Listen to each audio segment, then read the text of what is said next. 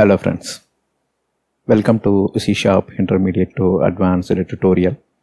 Now we are at uh, part 4 of the subseries, reading the application configuration file.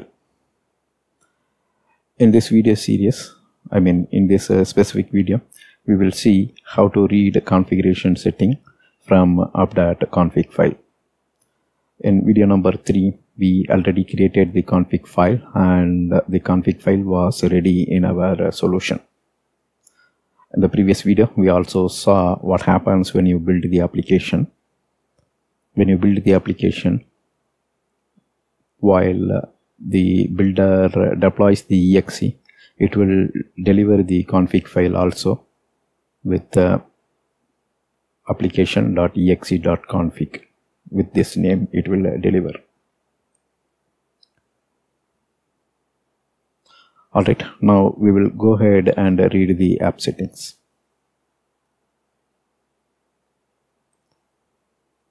So first we learned about the basics of application configuration. Then we talked about the example. In the previous video, we talked about the application configuration file sections like uh, app settings and connection strings. There are many other settings, but here we took uh, two sections for exploration purpose.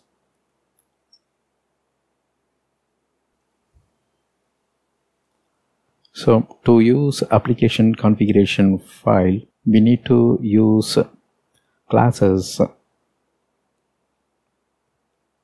We need to use classes in the system.configuration namespace.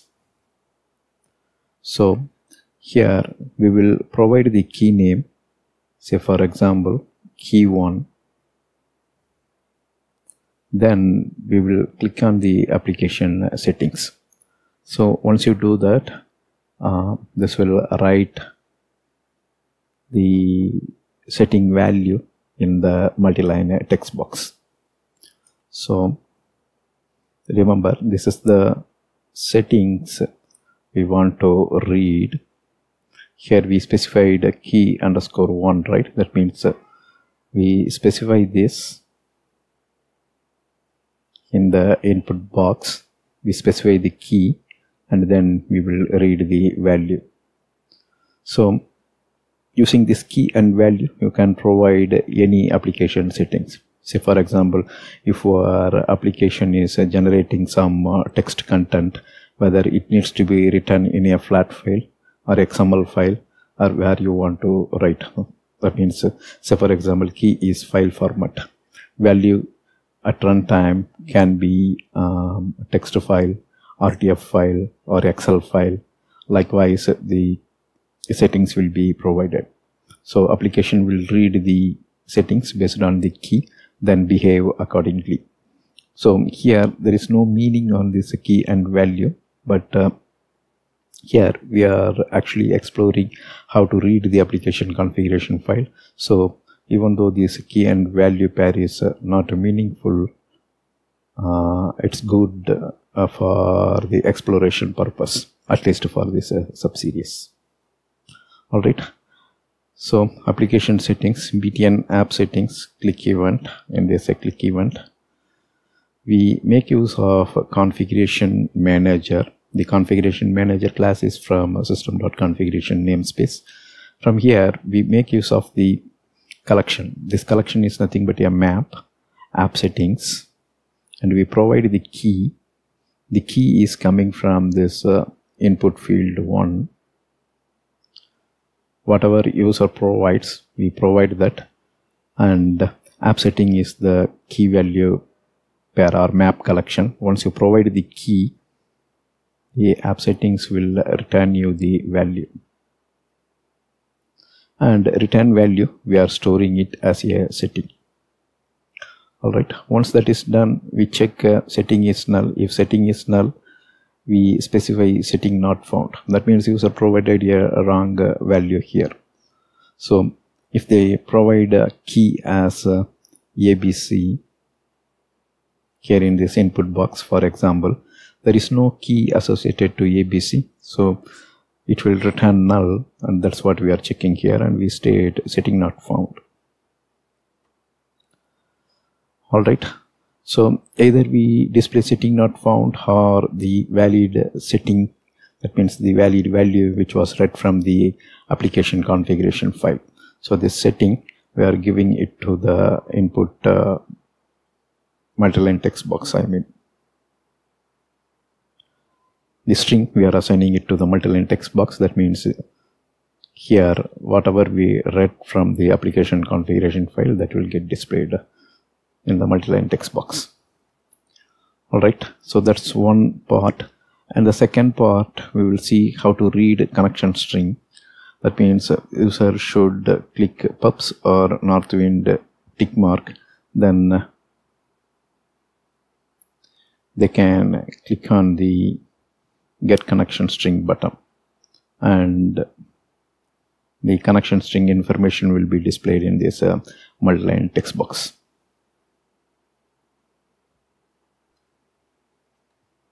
Alright here is the btn string. So this is the name btn string. Click event button click.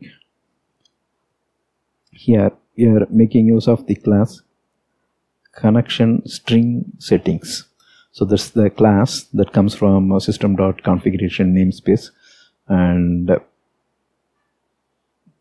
at this moment we are declaring this as null then we are initializing string as uh, empty in the initial stage. Next, we make sure the checkbox chkpub is in checked state. So since it is in checked state, we want to read the connection string pubs. So when it is true, if you see configuration manager, this time we are using a different collection. So the collection name here is connection strings. For the connection strings we supply the name. We supply the name to read the connection string data. So whatever connection string data are read will get stored in the connection string settings. We already declare this as setting underscore constr and we are assigning that here. All right. So setting constr once setting constr is in hand we are reading the connection string property of this connection string settings. So connection string settings represents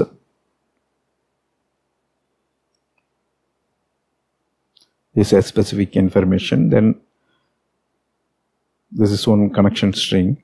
And from there we are reading the connection string a specific information right? After that we are appending a new line. So connection string information will set onto the string constr so this is the case for pubs and if northwind is checked by the user before clicking this then we read northwind related information. Here we are reading pubs and here we are reading the northwind. Here is northwind right? So similar piece of code here. And if connection string is empty that means user doesn't check pubs as well as hwind. Both the checkboxes is in unchecked state. So if that's the case we state specify either pubs or northwind or you can even specify both. That's all. Then we display the connection string information to this uh, multi-line uh, text box. Now it's demo time. We will go to the demo and uh, implement this uh, code change. So here is our uh, sample and uh, we already have app.config we will the name here is a text key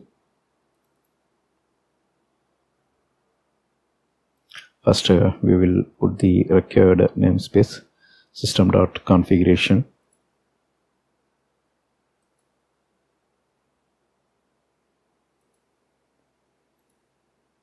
Make sure system.configuration is uh, included here. If uh, system.configuration is not here, you can go for add reference. Go for uh, .NET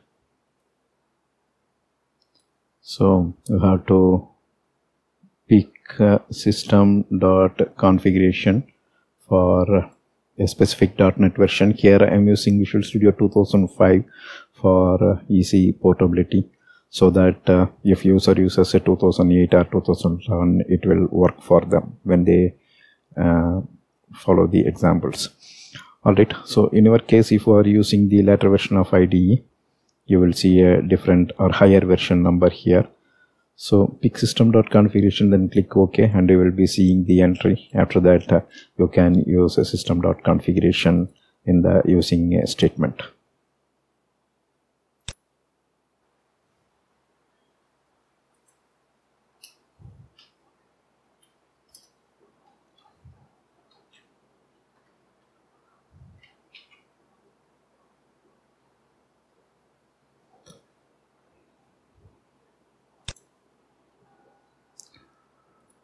So here we are uh, reading the application related information.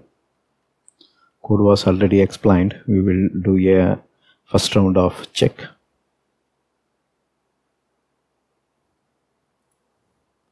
Let me type.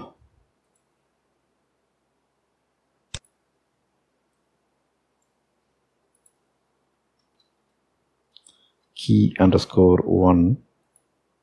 You can see value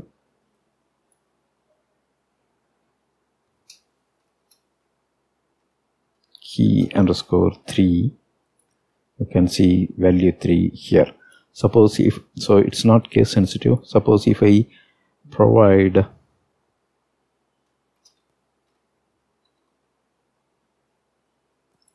so since we don't find any setting we'll be printing a setting not found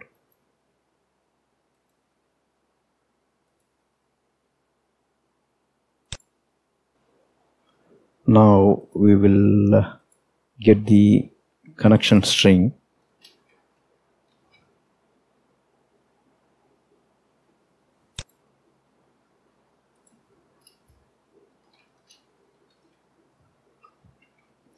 So since the code was already explained in the PowerPoint slide we can directly test this piece of code so connection string setting you can see it's from system.configuration then uh,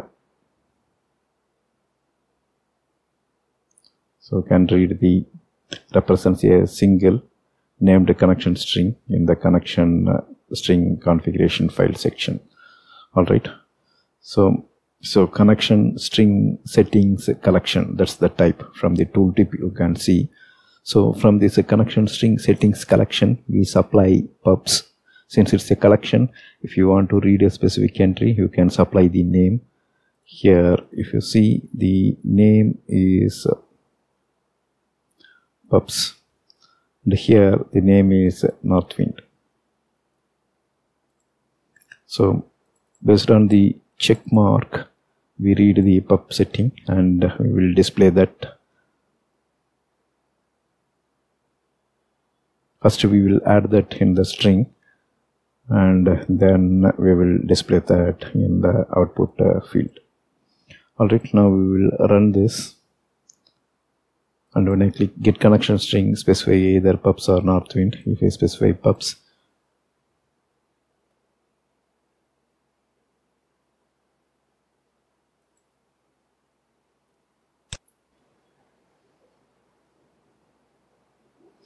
so it may be because either we have to provide full name all right so this is what generated by the properties. In the previous video we generated it right? So when we generated it all right we can modify this. It's just a name. For simplicity reason i'm just uh, so this fully qualified name is useful to avoid any conflict. But uh, since here we are creating our own example and we know that the connection string won't conflict. So pubs and northwind both are unique. So this is uh, sufficient. Alright, now we will run this again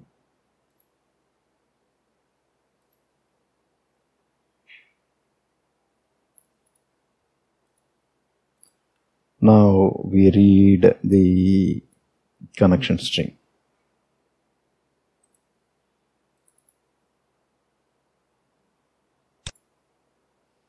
And you can see we provided pubs and we read the connection string information.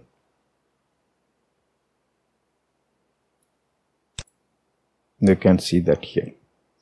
All right. Now if I need both pubs and northwind I can place check mark on both.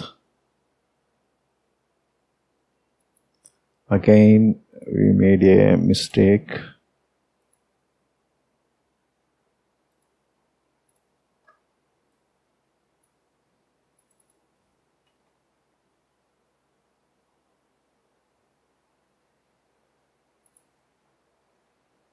Okay we will uh, rerun this either we can make change in the configuration file or we can make change here in the code window.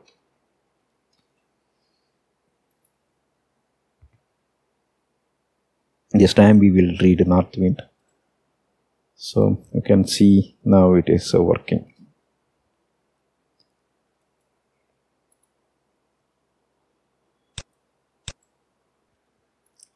All right. In the next video. We will add some new setting and based on that we will change the fore color. I mean fore color of uh, this uh, multi-line text box.